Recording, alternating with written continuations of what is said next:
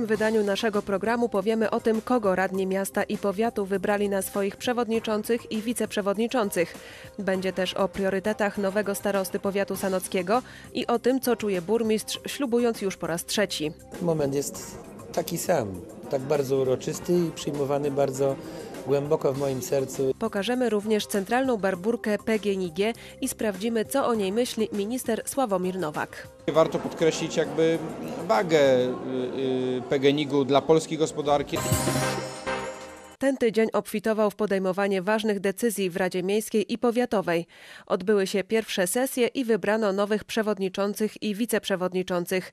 Swoje ślubowanie złożył również burmistrz Wojciech Blecharczyk. Moment jest taki sam, tak bardzo uroczysty i przyjmowany bardzo głęboko w moim sercu jako moment przede wszystkim realizacji wielkiego szczęścia, jakim jest zaufanie ludzkie, którym zostałem obdarzony. Będę chciał ten czas maksymalnie wykorzystać z pożytkiem dla całego miasta, dla współpracy, dlatego aby Sanok za 4 lata był nowocześniejszy, bardziej przyjazny mieszkańcom i wszystkim tym, którzy mają z tej gościnności, gościnności miasta Sanoka korzystać. Burmistrz już zapowiedział zmiany. W Urzędzie Miasta Wydział Promocji zamieni się w Wydział Rozwoju. Jego pracownicy będą starać się o inwestorów. W Radzie Miasta również zmiany. W wyborach samorządowych o 21 mandatów radnych miejskich starało się aż 315 kandydatów. Ostatecznie do Rady weszło 13 starych radnych z poprzedniej kadencji. Wiemy, jakie są priorytety w naszym mieście, wiemy, czego oczekują mieszkańcy i będziemy się starali je y, realizować, mimo że y, sytuacja ekonomiczna miasta y, naszego, tak samo innych miast w Polsce, z racji trwającego trochę jeszcze odczuwanego kryzysu nie będzie, nie będzie łatwa. Te wyzwania to przede wszystkim infrastruktura miejska, nowe drogi, chodniki, na pewno kolejne miejsca parkingowe. No i te wszystkie duże zadania, o których mówiliśmy w poprzedniej kadencji, No, mam taką nadzieję, że powiedzmy doświadczeniem, które nabyłem w pracy w samorządzie, bo jestem sekretarzem w, miast, w Zagórzu, y, będzie powodowało to, że s- będę mógł tutaj po prostu podziałać. Y, Szkoda troszkę, że jest nas mało tutaj y, młodych ludzi, ale myślę, że z tymi osobami, które są, będzie można stworzyć fajną e, radę, która przy tych dużych wyzwaniach, jakie przed nami stoją, przed miastem Sanokiem, będzie po prostu pracowała i będzie starała się te najpa- najważniejsze potrzeby realizować. Przed nami jeszcze dużo spraw do, do zrobienia, dużo inwestycji w mieście. To, co przed chwilą wspomniał Pan Przewodniczący Rady, naprawdę mnóstwo zadań w mieście. Myślę, że w ogóle nie możemy poprzestać na tym, co do tej pory żeśmy zrobili, a raczej właśnie skupić się i wszystkie swoje siły włożyć w nowe inwestycje, w działania, które nie zostały jeszcze zakończone i te, które w sumie przed nami. Wybory przewodniczących i wiceprzewodniczących miały miejsce również w powiecie. Najwięcej, bo aż sześć mandatów w Radzie Powiatu zdobyła Platforma Obywatelska.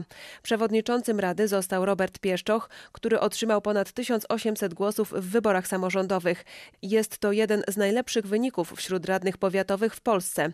Priorytety w powiecie są już znane. Ja uważam, że rolą przewodniczącego jest to, aby, aby takowych podziałów, jeżeli nawet miałyby jakiś tam e, swój gdzieś tam początek, to to wszystko gasić i aby rola przewodniczącego jest taka, aby tutaj wszystkich traktować na równi i, i w taki też sposób prowadzić obrady sesji. Powiat to oświata, powiat to służba zdrowia, powiat to drogi. To są trzy główne jakby kierunki działania powiatu. I w tych kierunkach no, jest wiele do zrobienia. Trudno w tej chwili mówić o jakichś konkretnych pomysłach. Musimy się zapoznać z tym, co jest rozpoczęte, co było dokonane i wtedy podejmiemy decyzję, co dalej, w jakim kierunku zmierzamy. Najważniejszą częścią pierwszej sesji Rady Powiatu był jednak wybór starosty powiatowego. 18 radnych zagłosowało na kandydaturę Sebastiana Niżnika. Wicestarostą został Wacław Krawczyk. Jego kandydaturę na to stanowisko zaproponował nowy starosta. Pierwsze chcemy postawić na pewno na rozwój infrastruktury, która jest niezmiernie istotna, poprawę rynku pracy, ponieważ e, sami Państwo wiecie, że e, żyjemy w takim regionie, gdzie wysokie jest bezrobocie. Myślę, że mamy takie narzędzia i dysponujemy, żeby poprawić i zmniejszyć e, bezrobocie, ewentualnie stworzyć takie alternatywy, które pomogą osobom znaleźć pracę. No i rozwój edukacji. Myślę, że są te trzy filary, na których chcę oprzeć swoją najbliższą kadencję. Bardzo mi zależy na budowaniu społeczeństwa obywatelskiego z własnych doświadczeń, ponieważ jestem członkiem dwóch stowarzyszeń. Jedno to jest lokalna grupa działania Dolina Sano, drugie to Wspólnota Obywatelska na rzecz rozwoju ziemi sanockiej. I wiem, że takie inicjatywy zawsze wychodzą od osób aktywnych. To są ludzie, e, którzy chcą, mają siłę, mają pomysł, e, tylko bardzo często brakuje im wsparcia, środków i myślę, że współpracując z tymi osobami, które wiedzą i mają pomysły na to, jak rozwijać dany e, region, jesteśmy w stanie wypracować właściwe kierunki rozwoju. Sebastian Niżnik w wyborach samorządowych do Rady Powiatu startował po raz pierwszy. Pomimo młodego wieku ma już duże doświadczenie. Przez ostatnich sześć lat pracował jako sekretarz gminy Sanok. Plany obchodów uroczystości barburkowych były wielkie. Niestety pogoda zawiodła. W towarzystwie śniegu i wiatru na sanockim rynku odbyły się pokazy tańca, pasowanie na górnika i koncert muzyczny. PGNiG, aby upamiętnić centralne uroczystości, przekazało na rzecz Szpitala Sanockiego nową karetkę. Uroczystości barburkowe są bardzo wyjątkowym czasem dla górników. To jest czas podsumowań. Możemy powiedzieć, że ostatni rok był naprawdę ciężkim rokiem. Rok, którym y, podstawowym, najtrudniejszym tematem było oczywiście zapewnienie dostaw gazu dla wszystkich naszych klientów. Negocjacje z partnerem rosyjskim, które praktycznie ciągnęły się aż do października. No, udało nam się przed sezonem zimowym y, podpisać y, umowę, po której sobie wiele obiecujemy. 29 października przedłożyliśmy kontrakt jamalski. Do tego jest oczywiście cały pakiet uzgodnień. W wyniku tych porozumień strona rosyjska ma również przedłożyć umowę na tranzyt gazem przez terytorium RP do Europy Zachodniej. Ale oczywiście oprócz e, kontraktu rosyjskiego to także rok trudnych wyzwań. To jest drugi rok, w którym bardzo istotnie przyspieszyliśmy inwestycje.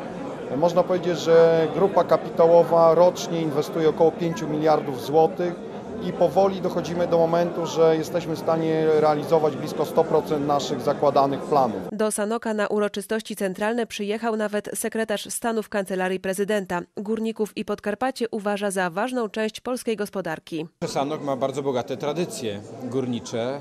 E, To jest pierwsza połowa XIX wieku, stąd e, kiedy przyszło zaproszenie, informacja, że e, największa polska spółka wydobywcza gazowo-naftowa robi centralne obchody tutaj. Prezydent poprosił mnie, żebym go mógł reprezentować. Oczywiście zgodziłem z przyjemnością, chociaż e, dojazd tutaj nie jest łatwy z Warszawy e, w tych, w tych warunkach atmosferycznych, ale ja lubię tu przyjeżdżać do tej części e, Polski, bo to jest w ogóle piękne miejsce na ziemi.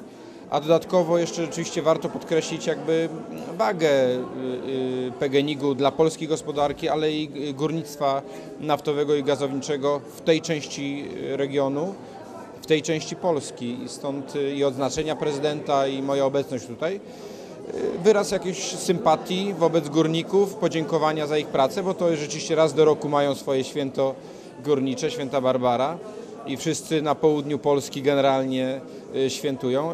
I taki przejaw sympatii i docenia ich pracy przede wszystkim, no ale i też nadziei na przyszłość, bo to jest ważna część polskiej gospodarki. Podczas uroczystości rozdano również odznaczenia dla szczególnie zasłużonych pracowników polskiego górnictwa naftowego i gazownictwa.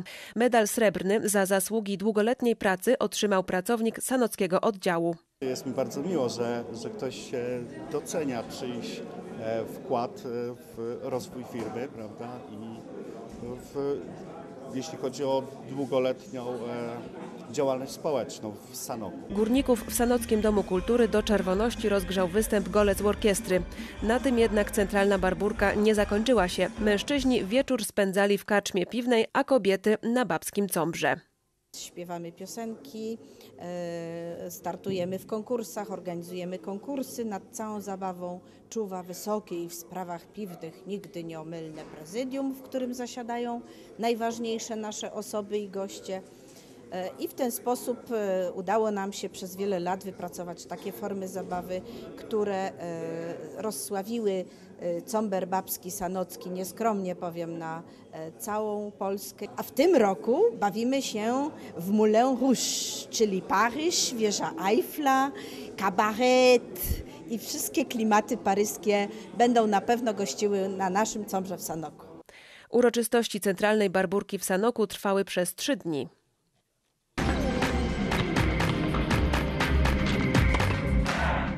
Pełną parą przebiegają rozgrywki Sanockiej Ligi Unii Hokeja.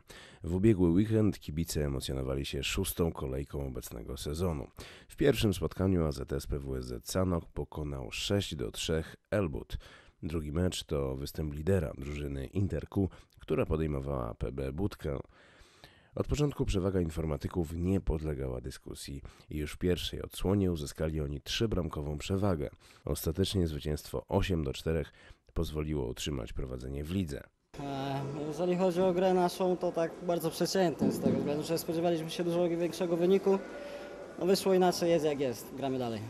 Myślę, że cała drużyna zagrała dobry mecz i indywidualności jakichś nie było. To znaczy my byliśmy pozytywnie nastawieni, tak jak przed każdym meczem. Yy, Byliśmy pozytywnie nastawieni, bo ostatnio wygraliśmy dwa mecze pod rząd, także byliśmy dobrej myśli, myśleliśmy, że powalczymy. No, wyszło jak wyszło, przegraliśmy 8 do 4, yy, aczkolwiek uważam, że momentami nie była yy, z naszej strony jakaś zła gra, tylko mówię, przez proste błędy straciliśmy głupie bramki, yy, faworyt to wykorzystał i no trudno gramy. Następny mecz przed nami, także będziemy walczyć o punkty. Trzeci mecz dnia to starcie ubiegłorocznych zwycięzców SLU, zespołu Facher Automatyka i Iwoniczanki. Faworyt mógł być tylko jeden, jednak młodzi unihokeiści postawili mistrzom trudne warunki i niewiele zabrakło do sprawienia niespodzianki. Wygrało jednak doświadczenie. Facher 5, Iwoniczanka 3. Przed meczem byliśmy skazywani na, raczej na faworytów. Jednak przystąpiliśmy do meczu we czterech i to, jak było widać, na pewno odbiło się na naszej kondycji w tym meczu. No ale wyciągnęliśmy wynik z 3-1 na 5-3, no dlatego powinniśmy być zadowoleni z tego meczu. Kolejkę uzupełniały spotkania Extreme Team z OZS PWSW Przemyśl oraz ze Sanok z Vulcaneksem. Więcej emocji przyniosło to pierwsze, w którym do wyłonienia zwycięzcy potrzebne były rzuty karne, a lepsi okazali się przemyślanie. Esanok natomiast zanotował pewną wygraną 10 do 2. Mecze z trybun oglądały zawodniczki Unii Hokejowej drużyny z Bukowska, która od kilku lat regularnie uczestniczy w finałach Mistrzostw Polski. Przychodząc tutaj możemy podpatrzeć różnego rodzaju akcje i wydaje mi się, że możemy dużo się tutaj nauczyć, oglądając właśnie na żywo taki unihokej. A powiedz, bo jesteście same zawodniczkami, jak wam poszło w ostatnich zawodach? Przyznam, że bardzo dobrze. Wygrałyśmy wszystkie mecze i tu wysoko i wyszliśmy, mamy pierwsze miejsce w powiatowych i za tydzień gramy właśnie już półfinał wojewódzki. E, Pan Bardziej jest jednym tutaj z uczestników e, Sanockiej Ligi. Powiedz, jak oceniasz go jako trenera i jak Ci się go ogląda w akcji? Pan Bardziej jest bardzo dobrym trenerem, nie powiem, że nie. I no troszkę dziwnie jest go oglądać w akcji, bo w szkole przecież tylko nam mówi, co mamy robić, i ten, a tutaj można go zobaczyć zupełnie z innej strony.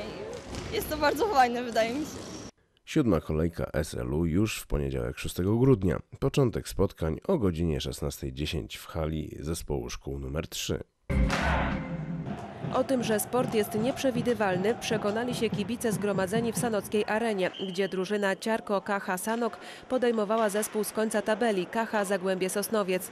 Znani ze znakomitej gry przed własną publicznością Sanoczanie tym razem ulegli swoim rywalom 2 do 6 w tercjach 0-1, 1-5, 1-0. Bramki dla Ciarko KH Sanok strzelili Lubomir Korchon i Michał Radwański.